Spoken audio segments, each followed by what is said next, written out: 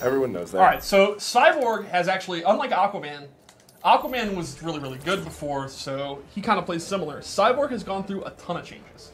He is still a zoning powerhouse. He's still projectile based, but we've given him a few tricks.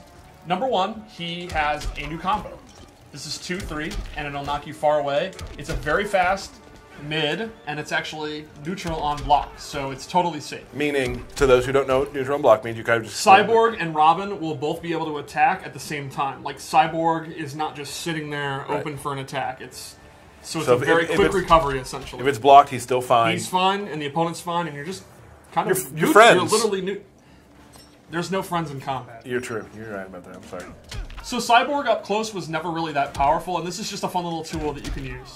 Right. He also has new angle. His fireballs are back, but he can now do an upwards one, and he can hold it just like the other one. He can meter burn it, and he'll do two. And his air fireball's back, and he actually has an air downwards fireball, and again he can meter burn it.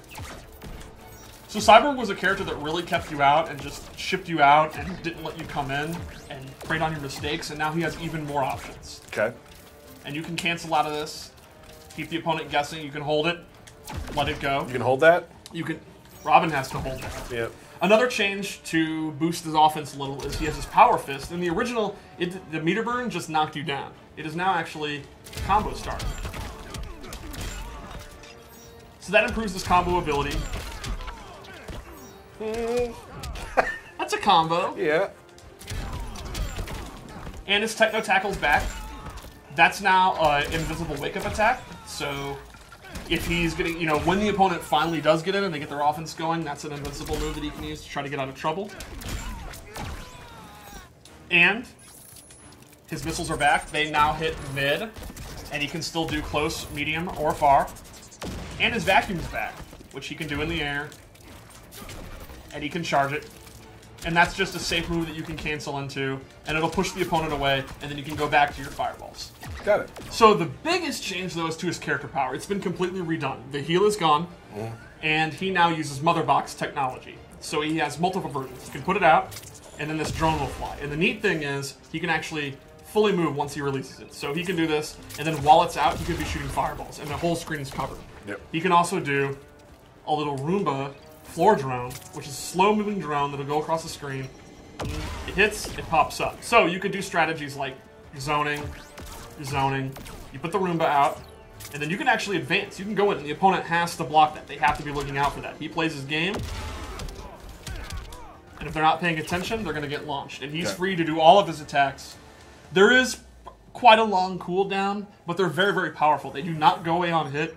They pop the opponent up. They absolutely control the screen. It really enhances his screen control, which he was already really good at. Let's say you're really close to Robin, You're really close to Robin, and you don't want to be there anymore. And you don't want to be there anymore. How do you get out? You use grapple, which There I we go. forgot about. So thanks for reminding me. Mm-hmm. His grapple is back. I like how I had to give it to you in, in riddle. Like, how would you do He also that? has a new throw, which I like using his grapple. oh yeah, awesome. So you want to show super? Yeah.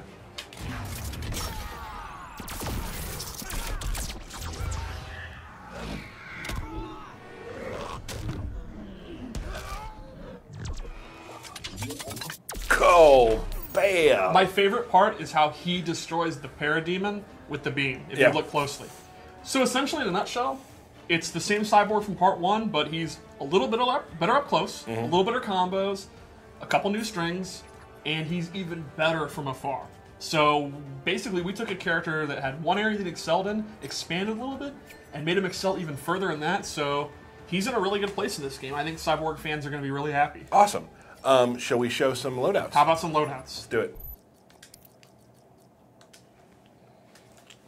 I saw your loadouts that you chose earlier, and the color, your color colorings. schemes are pretty good. I like it. Oof. All right, so for this one, I wanted to go with mobility. Maybe you're playing a match where cyborg zoning is just not that effective and you actually want to get it. Or maybe you just like playing YOLO cyborg with his new combo opportunities, right? Mm-hmm. So I gave him a mobility one. The first one is an air charge. You will actually, in the air at any time you can do it, you'll go in. And this has a really neat meter burn because this move is unsafe and it's kind of high risk, low reward, but you can make it safe by meter burning it by actually grappling forward, or you can choose to grapple away. So that's just another move you can use to enhance his air mobility. And then another big, big one is he gets a boom tube teleport. It is super fast, really good recovery. So, you know, you could even use his drone and then teleport in. They have to block the drone. He goes for his throw mix ups.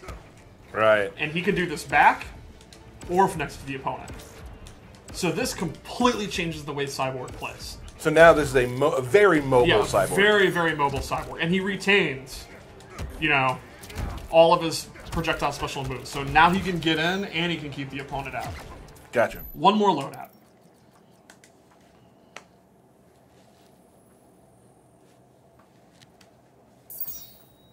Ooh. That's cool. Now, this ability I gave, I, I really, really love. This is an absolute game changer. This actually replaces his character power with full on armor. Now, if you were familiar with Lex Luthor in the original Injustice, it's very similar. Once he puts this on, he can charge it up to three levels, and then he walks around, and while he's glowing, he has armor. And he is free to do any of his moves. And if, if he absorbs an attack, he can just recover and then start going in. So that's incredibly effective. So let's say you're fighting another zoner. You know, he can turn this on, and he can afford to take trades. He can go get his zoning going, get the life lead. You can see his projectiles do a lot of damage. Or let's say it's a matchup where you can't really, uh, he can't really zone. And you have to go in. You can put this in, then go in, and there's all kind of crazy strategies. You could intentionally take hits and then punish the recovery. Some moves that are punishable will now be safe because of the armor, and it all depends on how long you charge it. And you can actually dash out of it if you just want to real quick go to level one. So this is an enormously powerful character ability.